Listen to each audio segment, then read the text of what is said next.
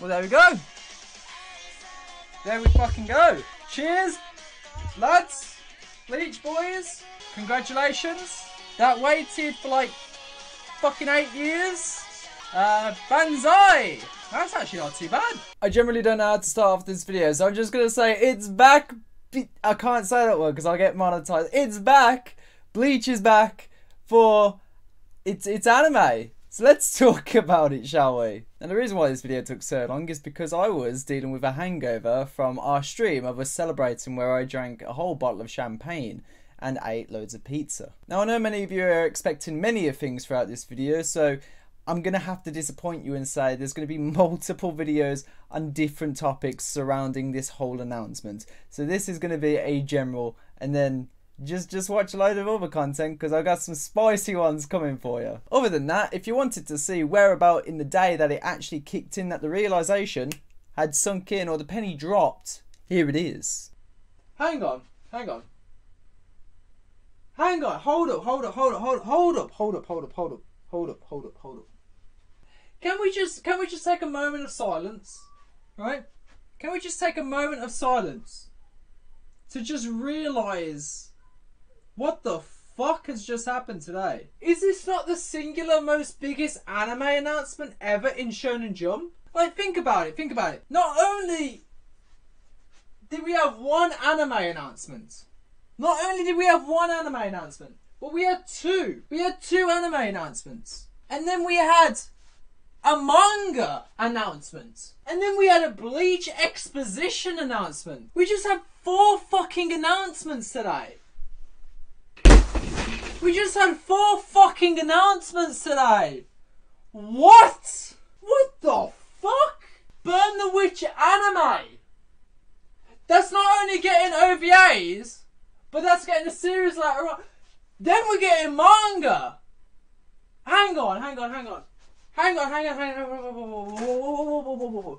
A Bleach sequel manga anime. A Bleach exposition and the Thousand Year Blood War animated. You fucking what, mate? Grimmjow, Ichigo's Bankai, Masaki's Titty, Nelly L or Diddle Spot, Grimmjow Jaegerjaquez, Kenpachi versus Unohana, Ichigo versus Koge. What? What? What? Four announcements! Raruka's bunny outfit! Raruka's but yo!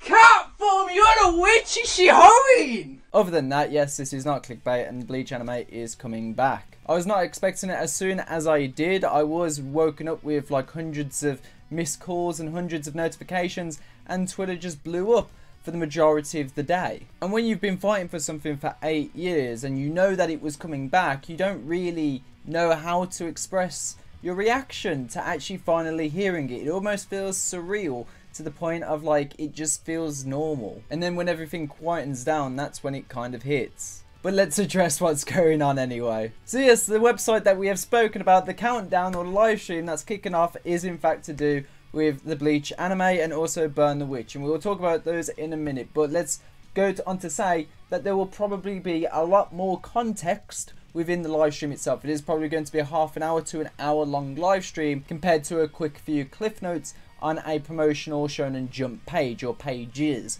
So what you've read here is just, I guess, surface level detail that we will get into the live stream. So I won't really delve into much of it until after that live stream and then we can actually talk about the logistics of what's going on. So for now, we'll just stick to what we actually know. So it's going to be a banger. But before we do, oh my god, it's actually happening. What? I never thought I'd make this video. I just really didn't. People are saying, uh, we're waiting for Jaymes to say I told you so. Oh, it's coming. It's oh, don't you worry, it's coming.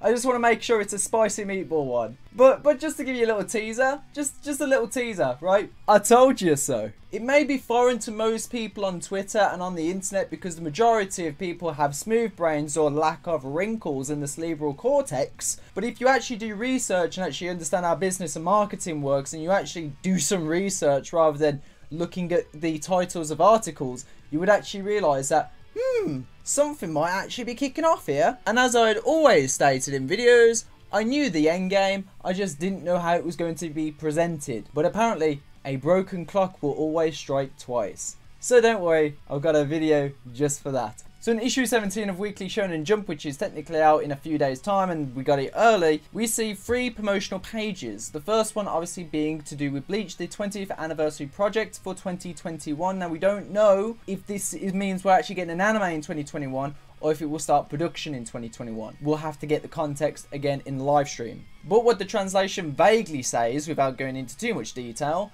is the Bleach Thousand Year Blood War arc anime has been decided. Followed up with number two, being that there is going to be a Bleach art exposition, museum, whatever you want to call it, in 2021. Which, my god, I don't care whatever situation or position that I'm in in life, I'm going there. I've got it. I've got it. It's, it's not a question. It's happening. So that's two announcements already. Then the third one is there is going to be a serialization of Burn the Witch, which will be taking over uh, in, in, summer. And there's a little bit of information in regards to what Kubo has said about that, which we will talk about maybe vaguely in this video, and I'll do a separate video on it entirely. Also mentioned as well that Bleach will also be getting a anime which will be done by Studio Colorido, if I said that correctly, and that will be for this fall. Now, yes, I know I originally said spring, I realise that.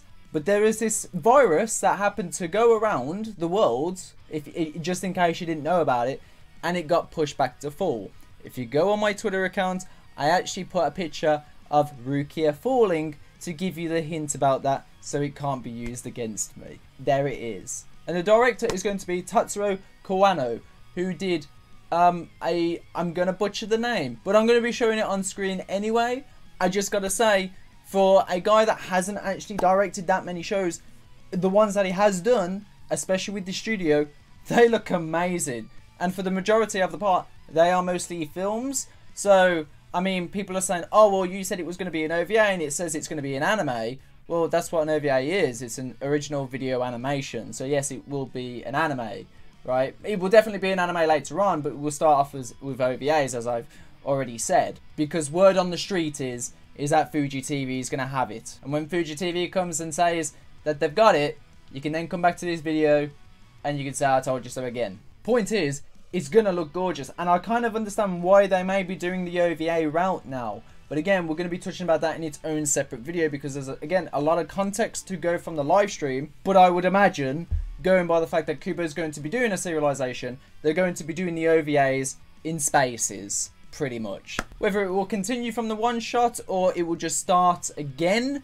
who knows? That is again another question for discussion. Now, of course, I've also got people saying, well, you said it was going to be a reboot. Well, I, I did say that. I said it was definitely on the table of cards that was mentioned within the production committee meetings or the license committee meetings. Just because it's in discussion doesn't mean it's entirely going to happen. I kind of alluded to the fact that it is due to the fact that this is probably going to be a lot of licensing issues and the fact of, well, why would you promote somebody else's work? Because you're going to have to have the fans that are going to have to you know, rewatch the old series. But maybe I've got to I've got to do a video on that one too because that's I've got a bunch of interesting theories and workarounds on that one as well. And this will all be happening within the week. So we got loads of content to talk about, loads of stuff that to just delve deep into. But we need that live stream. We need to know what's kicking off. And I'm, I'm, I'm buzzing. I'm buzzing it. Now, at the moment, we do not know who's going to be animating Bleach. Again, if it's Ufotable, I mean, I didn't take Studio Colorido as, as uh, you know, as a studio because it's not that well known yet. But I'm personally hoping that it's going to be Ufotable because they're amazing and they're awesome and I think they're the ones that would do the Thousand Year Blood War really good justice. But again, there's a lot to talk about, so there's gonna be I'm gonna milk it and spat. No, like I'm not gonna milk it. It's just like there's a there's, there's I don't want to deviate to talk about Burn the Witch and then Bleach and then other things like that. So this is just basically the news. We do have the voice actors being confirmed for each of the characters being Noel Niihashi and Spangle Nini, which uh, I gotta say the voice actor that's doing um, Spangle is well can I take her out to dinner? She's, uh... Anyway, the girl that's doing Noel is Yamada uh, Yuina. and she hasn't been in too much. She seems like she's kind of new to the whole game. And then the person doing Spangle, which is a cutie pie, is uh, Tano Asami. I think I said that correctly. And they've been in Fairy Tail and uh, Silver Spoon and Toriko. Played Rin in Toriko, which I haven't actually known any of these characters to be honest with you, but I, I would imagine they're good. That's kind of for you guys to like fill me in and let me know in that regard. And last but not least, we're just going to read what Kubo's comments were on the whole debacle and why actually making content about Bleach, why standing it as much as we did actually would have mattered. So here is the other page other than the Burn the Witch and the Bleach one with the comments of what Kubo has said about each series, each respectable series. Kubo says that Burn the Witch will be a short-term serialization. He also says that by the time we'll be reading it, he'll be playing Animal Crossing and he wants to play with everybody. He also mentions he didn't have in mind to start the series, but the editor encouraged him to do it. This is implying, and I think he's going to say as well, that the manuscripts are all done, so there's, there's going to be like no editors breathing down his neck. Burn the Witch is complete, Shonen Jump have it, so it's ready to go, and I think that's why an anime can be made so quickly, and that's why Kubo's kind of been quiet for a good few years now, um, because, you know, he's, he's been in the studio, he's been in the studio working the pen, so this has been, you know, this has been around for quite a bit, and it makes sense. I would even say 2018, after that I'm Still Bleach campaign, that things started to really kick off. And remember that video? Just, just for an hour, remember that video that I made about Kubo's interview Jet art book signing session, and Nakano said, "Please support Kubo, uh, Bleach, and his other works." Hmm, almost makes it seem like I was correct in actually reading what somebody says correctly. Because heaven forbid we actually open our ears. But I digress, we'll carry on. Kubo says it has been so much time that probably almost everybody forgot about it. He's addressing the Thousand Year Blood War arc anime possibility here, I would assume. And actually, I almost forgot. I thought the Thousand Year Blood War arc wouldn't be animated, so I didn't expect the animation project in this 20th anniversary. There will also be the continuation of Burn the Witch that I didn't plan to serialise, and I only showed it to my family and close ones because of pure curiosity. As a result, my editor saw it and told me to make it a series and animate it. It is the first time that I'll be drawing manga and the anime designs at the same time, and I think it will be interesting and overall a good work. By the way, I have finished the manuscript and by the time that you read the series, I'll be playing Animal Crossing and I look forward to playing it with everybody. So there you go. I mean, obviously we know that Nakano reached out to Kubo during the 50th anniversary of Shonen Jump and he's, you know, he gave him the option, do you want to do a new series or do you want to do something Bleach related? Kubo did a little bit of both. It was new and kind of involved with Bleach at the same time. That's why I kind of say it's a sequel or a spin-off. It's a bit weird, but it's quite obvious that Nakano really wanted Kubo back in the booth. And I think Nakano is, is a smart boy. He's a very smart boy to be the editor-in-chief. So shout out to him. And it, it, wasn't long. I think it was after Kubo's serialization ended that Nakano actually came into the to the whole thing. Or maybe a year before Bleach ended. So he was very smart with what he did with Kubo, I believe. Now, the other editors, or the chief and editors before that, I can't really comment on. But it seems like at the moment that Nakano, for the majority of the part, has been very supportive of Kubo and his health and his work and future in the long term. And this has kind of been shown a lot through consistent using of Ichigo in promotional things such as like the digital manga applications where Ichigo's been on there or giving out free manga uh, to read for that and obviously the I'm Still Bleach campaign. Again, what other series had that? I think it was to test the waters and by God did it succeed. Again, I've done a video talking about how much it costs and how much it probably earned back and it kind of all adds up to some degree. But I digress because some people just didn't want to listen. It's almost like money talks. That's crazy. And I also generally think as well with the BBS characters as well, with the Thousand Year Blood War Art characters that were originally only going to be 14 characters for the game to actually adaptate into the mobile game itself was also a nice test of the waters to see what kind of response it got. Naturally, of course, with the Thousand Year Blood War arc finishing its conclusion of uh, 14 characters, of course, they were allowed to reissue more characters to use, but because the sales actually did skyrocket from that part of the game in and of itself, probably definitely told Shueisha to, you know, kick up their gear. And it was very interesting as well to see Masashi Kudo as well, the previous uh, character designer for Bleach. Whether he's going to come back for the Bleach project, we don't know yet. You know, he's, he's working on Tower of God right now, so we don't know. But, you know, we'll talk about that in the future. It seems to me that what Kudo was saying, that it's up to Shueisha and Kubo to agree for the adaptation of the anime, it really more seemed to be like on Shueisha's part for it, because it seems like, obviously Kubo wanted it, and obviously he must have seen that, like, the possibility was not there, but it seems like Shueisha was really the one to pull the strings here and say, yes, like, this is going to happen. Are you cool with this? And Kubo was like, obviously. So this seemed to be more so on Shueisha's court. And why I say it's important that us making the content and us screaming about it and us buying, you know, the gacha game stuff and us supporting KLab and us supporting Burn the Witch and buying the Bleach Jet art book and really putting the money where our mouth was really goes to show that actually Shueisha was really watching on the sidelines. I know for a fact that you know there was people in the industry watching some of my streams at, at one point. So it was you know it is interesting and it really goes to show that you kick and scream enough and you show Shueisha not only vocally but also you know doing silly things as well, doing the Twitter uh, trends and whatnot that we've done a few times.